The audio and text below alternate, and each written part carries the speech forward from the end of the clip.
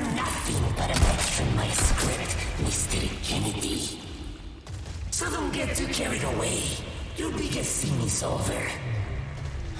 Leave me out of your crappy script. Well then, why don't you show me what a first-class script is like? Through your own actions.